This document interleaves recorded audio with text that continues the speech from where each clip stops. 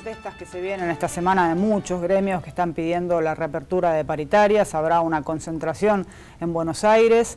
Entre ellos están los docentes universitarios que vienen reclamando desde hace un tiempo. El ministro de Educación ya dijo no va a haber reapertura de paritarias y no va a haber reacomodamiento salarial antes de que termine el año. O sea, quedaría la discusión para el próximo año. Estamos con Laura Ferrer Varela de la Cuad Rosario. ¿Cómo le va? Buen mediodía. Buen día, ¿cómo va? Bueno, no se abren las paritarias. En principio, nosotros el 29 de septiembre tenemos la esperanza de sentarnos para discutir a ver qué es lo que ha pasado. Lo que nosotros decimos, porque eso está firmado en el acta, que el 29 íbamos a estudiar a ver cómo nos había tratado el primer semestre. No necesitamos llegar al 29 de septiembre. Lo sabemos desde el mismo momento en que se firmó la paritaria, desde mayo, que con el 18% en mayo no hacíamos nada. Y menos ahora, después de que se sabe hace dos meses la inflación oficial del gobierno del 38,4, vamos a dejarlo. 39, está bien. Sí, el dejamos, sí. Y eso implica que estamos un 20 atrasado nomás en el, en el primer semestre, sin contar todo lo que veníamos atrasado del año pasado. Y nosotros creemos que el plan de este gobierno es recesión con inflación.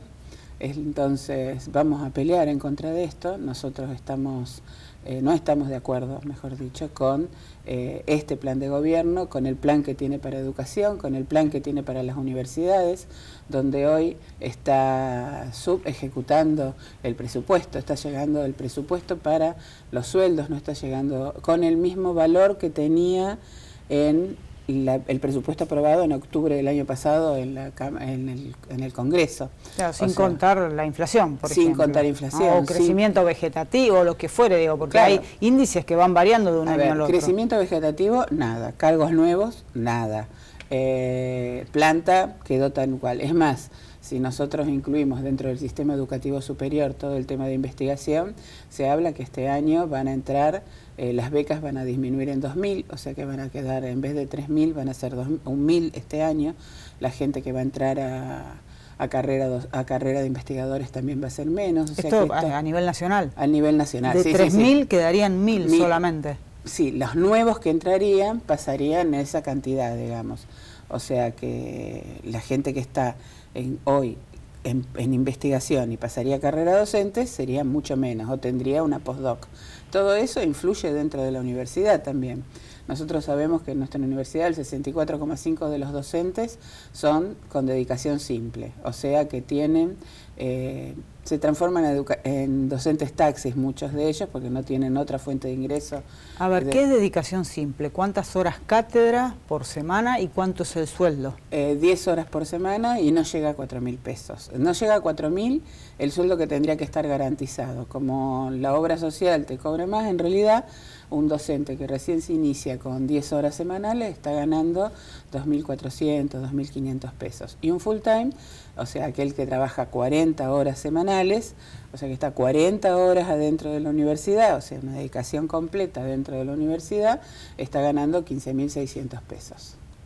Eh, si hacemos una historia de los últimos 10 años, ¿cómo se han ido recomponiendo los salarios? Eh, porque digo, aparece a simple vista de lo que han faltado no solo ahora, ahora sería más trágico, es más trágica la mirada, ¿no? Porque además tenemos una inflación más que interesante, pero uno recuerda que en los últimos años siempre se ha peleado para lograr una recomposición salarial que al menos haga un salario del docente universitario medianamente digno. Un docente universitario además que es muy valorado en el exterior. Sí, por supuesto. Eh, la no, perdamos de los vista, ¿no? profesionales que salen de nuestra universidad que tiene características muy especiales, digamos, al ser mm. abierta, inclusiva, que se vuelca a la comunidad, que trabaja con la comunidad, es muy valorado en el exterior donde no se forma de esa forma. Eh, los en realidad nuestro salario lo venimos peleando desde siempre. Yo creo que desde que empezó la democracia no recuerdo un año que no hayamos empezado eh, sin paros o con paros muy largos. Podemos recordar la huelga por el nomenclador único a nivel nacional con Alfonsín, mm. que duró casi seis meses, sin toma de exámenes, sin clases, con el apoyo estudiantil, con un montón de cosas. Después, en el 2005, bueno, hubo muchas más peleas, pero para reducir, en el 2005, con una pelea muy grande, logramos que nos blanquearan todos los salarios. O sea que no tener salario en negro. Eso es una de las cosas buenas que tiene nuestro salario. Todo es salario en blanco.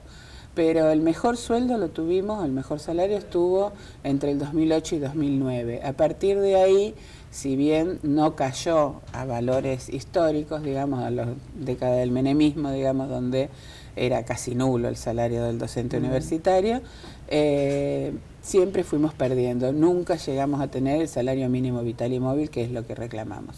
Ahora, eh, en general, a partir de los reclamos, protestas y paros, siempre ha habido alguna respuesta. Seguramente más traumática, con más desgaste, con el corro de las semanas o los meses. ¿Qué se espera ahora? Digo, ¿por qué hay un posicionamiento del gobierno nacional? No, es esto.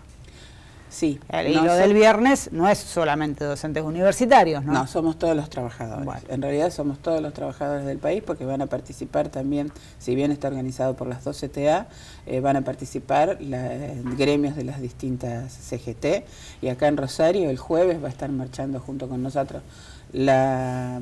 Eh, el movimiento sindical rosarino y también la multisectorial, más los estudiantes, las organizaciones sociales, cosa que es una movida muy importante, porque todos nos vemos afectados por esta política, no solo de los tarifazos, sino con no más ir a la farmacia o ir al, al supermercado, vemos como día a día las cosas van aumentando y nuestro salario... ¿Cuánto ha perdido el salario del docente?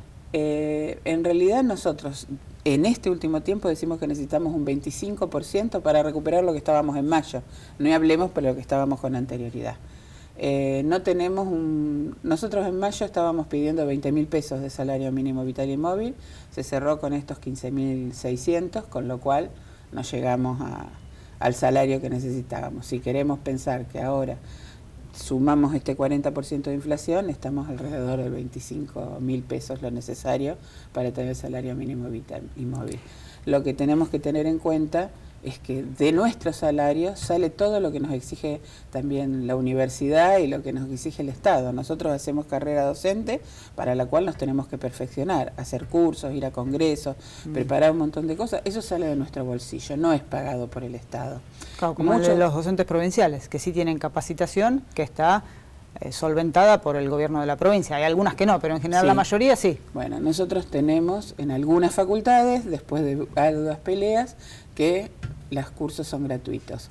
Lo único que tenemos hasta ahora son los doctorados, los que hacen doctorados pueden hacerlo en forma gratuita, aunque les cobran eh, que vengan los jurados. Hay un montón de cosas que tenemos, o sea, material para trabajar.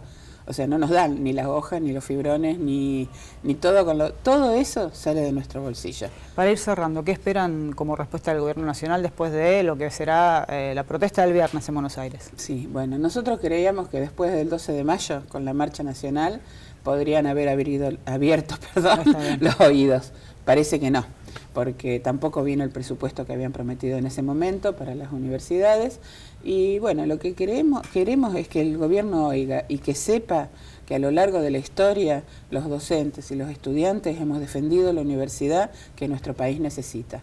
O sea, queremos que escuchen, que vean, vean qué es lo que necesitamos y vean qué país queremos y hacia dónde tenemos que ir. Últimas dos. Eh, los papás de los chicos que eh, mandan a las escuelas que dependen de la UNR, el Politécnico y el Superior de Comercio, van a protestar por los días de clase que se pierden. Y la agrotécnica, te Y la agrotécnica, perdón. Sí, sí, se pierden. A ver, pero se pierden todos los talleres no hay más plata para arreglar los techos de los talleres del Politécnico, no hay gas para la, para la fundición, hay un montón de cosas que se pierden, pero que protestemos juntos, veamos cómo peleamos por el mayor presupuesto para construir las cosas que necesitamos en cada uno de esos lugares. El gobierno cerró el plan Conectar Igualdad. Este año los chicos de primer año del Politécnico, de Superior de Agrotécnica, no recibieron computadoras no recibieron ni van a recibir la misma educación que estaban recibiendo los anteriores.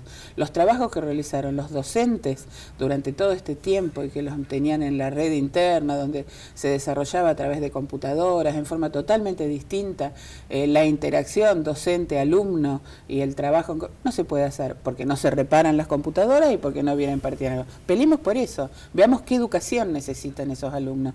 Nosotros le decimos a los padres que nuestra herramienta para que la vean es el paro, pero que vengan con nosotros y si salimos todos juntos va a ser más fácil. Bien, última y a los efectos prácticos. Jueves a qué hora y en dónde la protesta en Rosario y el viernes a qué hora salen para Buenos Aires. El jueves a las 3 y media de la tarde enfrente a Casa de Gobierno, Santa Fe, entre Dorrego y Moreno. Ahí concentramos los docentes universitarios. De ahí se marcha hasta la Montenegro, donde va a estar el acto. Y el viernes salimos desde la puerta de COAD, del gremio, Tucumán al 2200, Tucumán 2254, eh, a las 7 de la mañana para concentrar junto con el resto de la CONADU, de los docentes universitarios a nivel nacional, en Belgrano y 9 de julio. Bien, muchas gracias, Laura.